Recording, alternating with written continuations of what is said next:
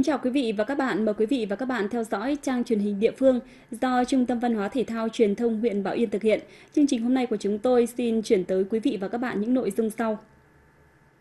Người trồng dâu huyện Bảo Yên chia sẻ khó khăn cùng doanh nghiệp mùa Covid. Học sinh vùng cao xã Điện Quan khắc phục khó khăn duy trì nề nếp học tập trong những ngày nghỉ học để phòng chống dịch Covid-19. Sau đây là nội dung chi tiết chương trình, mời quý vị và các bạn cùng quan tâm theo dõi.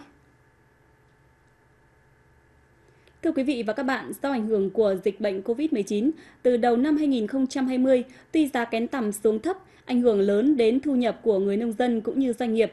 Trước những khó khăn này, bà con đã cùng với doanh nghiệp cố gắng duy trì sản xuất với hy vọng dịch bệnh sẽ qua nhanh và giá kén tằm sẽ ổn định trở lại. Phản ánh của phóng viên chương trình. Gia đình ông bà Bùi Minh Tân và Lục Thị Sao ở tổ dân phố 1 thị trấn Phú Giàng có khoảng 2 mẫu đất ruộng đều đã chuyển sang trồng dâu nuôi tầm. Nếu như năm 2019, mỗi lứa nuôi như thế này, gia đình thu về từ 6,5 đến 7 triệu đồng. Tuy nhiên, do ảnh hưởng của dịch bệnh COVID-19, từ đầu năm đến nay, giá thu mua kén tằm giảm từ 110.000 đồng mỗi kg kén xuống mức giá 80 đến 85.000 đồng mỗi kg. Nguồn thu từ trồng dâu cũng bị giảm sút khá nhiều. Gia đình cũng xác định đây là giai đoạn khó khăn của cả người dân và doanh nghiệp, nên ông bà vẫn tiếp tục đầu tư chăm sóc cây dâu và chủ động nguồn sống để duy trì phát triển sản xuất, với hy vọng dịch bệnh sẽ qua nhanh và giá kén tằm sẽ ổn định trở lại, để gia đình và người dân yên tâm sản xuất. Coi như là năm ngoái cái số lượng tằm này ấy, phải được đến 6 triệu ấy, nhưng mà năm nay chỉ được tầm 4 triệu thôi Ừ, bây giờ tôi cũng mong muốn kiểu mong mong muốn cho cái dịch bệnh nó qua nhanh thì xong ờ, lại bắt đầu phát triển từ đầu thì nó nó còn được nhiều hơn. Xã Nghĩa Đô là một trong những địa phương có diện tích trồng dâu lớn nhất huyện với 37 hecta và khoảng gần 200 hộ dân tham gia trồng dâu và nuôi tầm. Khi giá kén tầm giảm, đa số người trồng dâu đều lo lắng. Một số hộ băn khoăn và có ý định không tiếp tục nuôi tầm Nắm bắt được tình hình, cấp ủy chính quyền đã phối hợp với đơn vị bao tiêu sản phẩm xuống từng thôn bản, hộ gia đình trồng dâu, tuyên truyền để người dân biết được nguyên nhân của giá tầm xuống thấp và cùng chia sẻ với doanh nghiệp trong giai đoạn khó khăn này. Chúng tôi cũng phải chấp nhận nó không phải cùng đồng hành với uh, doanh nghiệp để uh, tới đây thì uh, chúng tôi có sản phẩm để để cung cấp cho doanh nghiệp mà cũng mà mà hợp đồng với doanh nghiệp ký tá với doanh nghiệp chúng tôi không bao giờ chúng tôi bỏ vẫn tiếp tục đến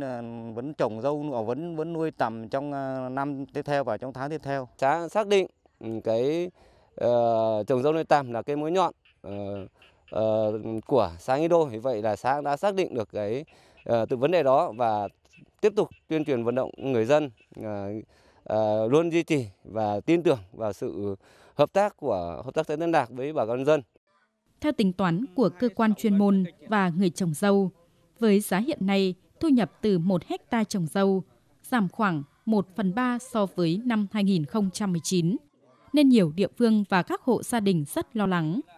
Trước tình hình đó, huyện Bảo Yên cũng đã kịp thời chỉ đạo đơn vị bao tiêu sản phẩm, phối hợp với các cơ quan chuyên môn và các địa phương tìm ra những giải pháp hỗ trợ doanh nghiệp và người dân, như huy động thêm nguồn vốn từ các ngân hàng, hỗ trợ lãi suất cho doanh nghiệp, hạch toán, đánh giá để xây dựng mức giá sàn đối với sản phẩm kén tầm để đảm bảo thu nhập cho người dân.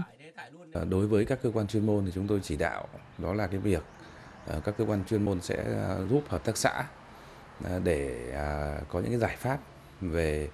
à, kế hoạch vốn, khoanh nợ, thế rồi là bổ sung các cái nguồn vốn nghị quyết 12 của Hội đồng dân tỉnh cũng chỉ đạo hợp tác xã thì trước hết thì hợp tác xã phải điều chỉnh cái quy mô sản xuất cho nó hợp lý, phải chủ động về cái nguồn vốn để đảm bảo tiêu thụ cái sản phẩm đầu ra cho bà con nhân dân. Đồng thời là hợp tác xã cũng phải tiếp tục mở rộng các cái thị trường để đảm bảo cái sản phẩm đầu ra cho bà con nhân dân được ổn định. À, đối với bà con ờ, nhân dân thì ờ, chúng tôi cũng chỉ đạo các cơ quan chuyên môn phối hợp cùng với hợp tác xã tuyên truyền vận động bà con nhân dân ờ, cùng chung tay để vượt qua những cái giai đoạn khó khăn này và qua tuyên truyền vận động thì hầu hết bà con nhân dân đều hiểu và cùng chia sẻ cùng chung tay với hợp tác xã Trước những khó khăn chung do diễn biến phức tạp của dịch bệnh COVID-19, với huyện Bảo Yên, nghề trồng sâu nuôi tầm bị ảnh hưởng khá nặng nề, thu nhập của người dân doanh nghiệp bị giảm sút, thậm chí thua lỗ. Tuy nhiên, người nông dân Bảo Yên cũng đã xác định được trách nhiệm của mình và sẵn sàng chia sẻ cùng với doanh nghiệp để vượt qua khó khăn do dịch bệnh gây ra. Thưa quý vị và các bạn, là xã vùng cao còn gặp nhiều khó khăn cả về kết cấu hạ tầng cũng như điều kiện kinh tế. Nhiều gia đình học sinh không có các thiết bị như điện thoại thông minh hay máy tính để kết nối mạng, phục vụ học trực tuyến. Nhưng các trường học trên địa bàn xã Điện Quan đã có nhiều giải pháp để duy trì nền nếp học tập và kiến thức trong những ngày nghỉ học để phòng chống dịch COVID-19, ghi nhận của phóng viên chương trình. Điều đặn vào mỗi sáng thứ hai đầu tuần, cô giáo Nông Thị Tĩnh, trường tiểu học số 1 Điện Quan, lại đến từng nhà các em học sinh để giao đề cho các em ôn luyện, cũng như trực tiếp hướng dẫn các em làm bài tập, luyện chữ viết. Đây là giải pháp tích cực của các thầy cô giáo áp dụng triển khai thực hiện nhằm giúp các em học sinh duy trì nền nếp học tập và kiến thức trong những ngày nghỉ học để phòng chống dịch COVID-19. In bài ờ, để gửi đến tận tay học sinh và à, trực tiếp gọi điện cho phụ huynh để hướng dẫn con học tại nhà. Đấy thì à, cũng à, học sinh cũng à, có đề thì học sinh làm cũng rất là tốt. Đấy thì cũng trong một tuần thì chúng tôi cũng gọi điện trực tiếp để hỏi bài tới gọi là gọi học sinh để hỏi bài để trao đổi với học sinh để xem là học sinh làm đến đâu và làm như nào có gặp khó khăn gì thì chúng tôi sẽ chữa bài cho học sinh luôn với gia đình chị Hoàng Thị Hải ở bản 3 xã Điện Quan, những ngày này đang tranh thủ tiến hành phát cỏ cho đồi quế của gia đình. Do điều kiện gia đình không có người trông nom các cháu nhỏ, chị Hải đã đưa các con lên dãy để học, vừa tranh thủ phát triển kinh tế, vừa hướng dẫn các con những bài toán khó. Các ờ, bậc phụ huynh như chúng tôi mới phải đưa các con lên đồi. Chúng tôi làm việc phát nương, phát đồi thì có lúc chúng tôi nghỉ ngơi nghỉ ờ, mệt thì chúng tôi nghỉ nghỉ không lại về hướng dẫn con à, làm bài tập mỗi buổi à, mỗi mỗi tuần mỗi ngày thì ờ, các à, cô giáo cũng gửi bài tập đến cho phụ huynh những chiếc cùi những hộp mì tôm những tảng đá trên đường được các em học sinh trường tiểu học số 1 Điện Quan tận dụng làm ghế ngồi, bàn học để học tập trong mùa dịch COVID-19. Hàng ngày, em Nguyễn Ngọc Tâm, học sinh lớp 1, trường tiểu học số 1 Điện Quan, cũng phải dậy từ rất sớm để theo mẹ lên nương học bài, luyện chữ viết, ôn lại kiến thức đã học ở trường. Em rất là chán bởi vì là không được đi học gặp với các bạn. Và thường thường ở nhà thì em phải làm bài tập về nhà cô giao. Làm xong thì em lại đọc bài học. Xong, học xong thì em lại nghỉ. Nghỉ xong đến chiều em vẫn phải học bài ôn bài ạ. À. Em thường với bố mẹ lên nương làm bài tập và em làm xong về nhà bố mẹ gửi cho cô giáo. Năm học này, trường tiểu học số 1 Điện Quan có 249 học sinh thực hiện sự chỉ đạo của Bộ Giáo dục và Đào tạo, Sở Giáo dục và Đào tạo tỉnh Lào Cai. Nhà trường đã tổ chức cho các em ôn luyện kiến thức bằng rất nhiều hình thức,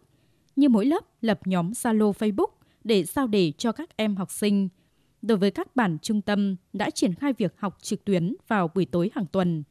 Còn với các bản vùng cao thì không thể áp dụng việc học trực tuyến mà giáo viên chủ nhiệm giao đề trực tiếp đến từng hộ gia đình các em học sinh – phát đề rồi trực tiếp hướng dẫn các em ôn luyện.